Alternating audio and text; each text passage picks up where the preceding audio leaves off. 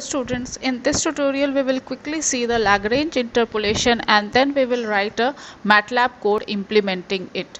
So what is this Lagrange interpolation and why do we need it? Suppose that you have a data, Lagrange data. You have been given a year, like you have a data uh, that in 1950 you have some population, say this now in 1960 you again have some data and suppose that the population is this. In 1970 you have some data.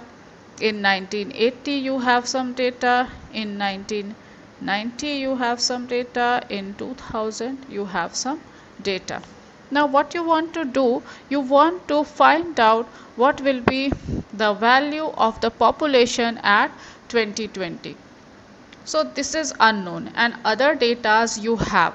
So you can do this by finding the Lagrange interpolation polynomial. So what is this? Suppose that you have some function y is equal to fx which is the exact polynomial fitting the datas so uh, it is not possible to find out the exact polynomials. So we do we find out the approximate polynomial with the help of the Lagrange interpolation formula. So uh, what does this uh, polynomial do? It has all the values equal to f of f like f of xn is equal to p of xn at all the given points like at the given points these both polynomial will be the value of both the polynomial will be same as you can see from this figure this x naught and this is your y naught.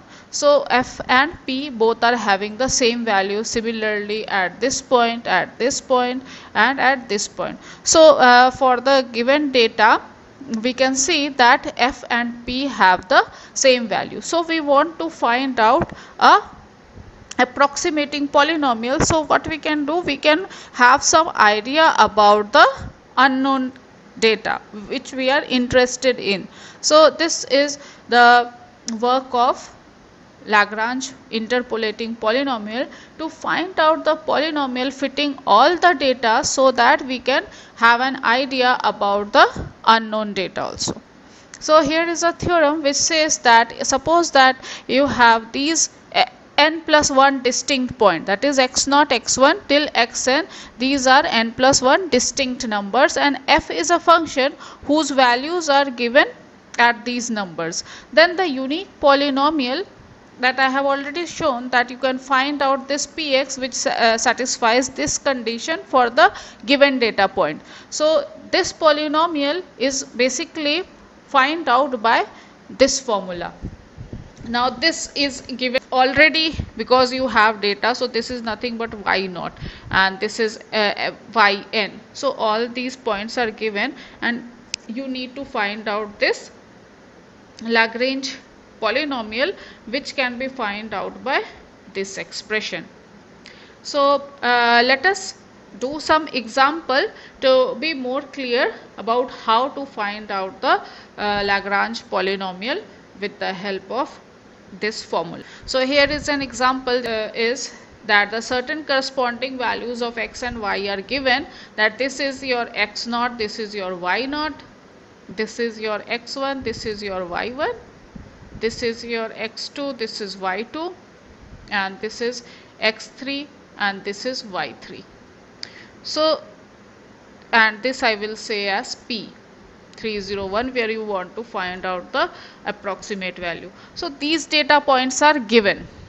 Now you want to find out what will be the value of my y if I put x is equal to 301. See here the data of 301 is not given. So what is your target is to find out an approximating polynomial with the help of these four data points and then put 301 in the place of x to find the value of y. So how we can do this by incorporating the Lagrange polynomial formula.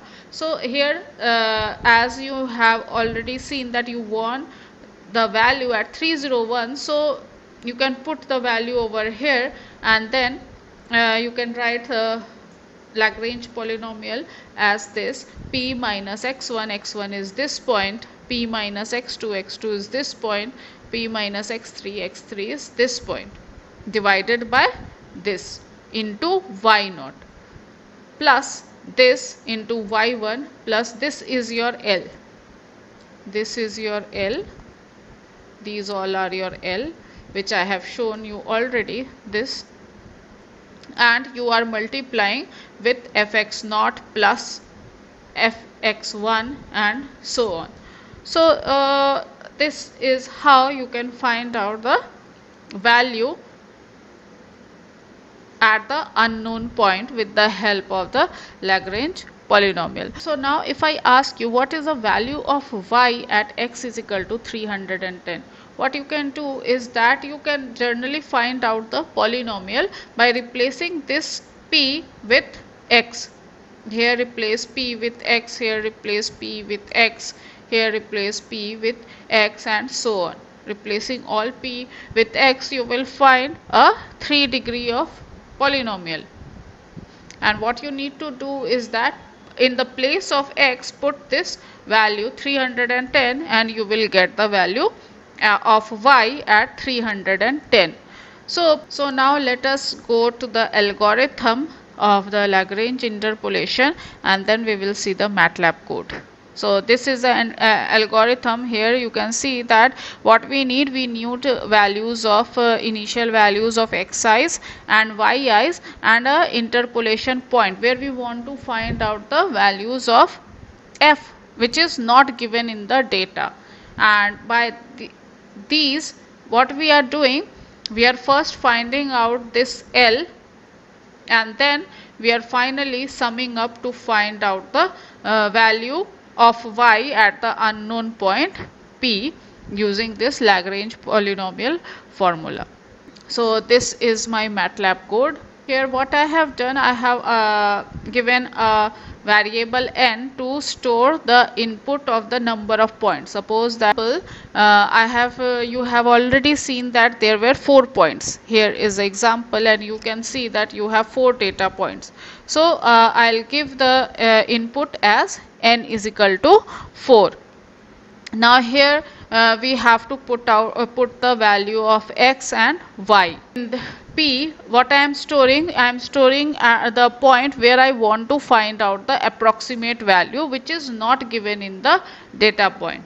Now this is a for loop which is calculating the value of l the uh, this value. It is calculating this value. And finally it is doing it is uh, uh, calculating the total value that is it is adding up and multiplying it with y i's so that you can find out the value of y at the unknown point according to the Lagrange interpolation formula.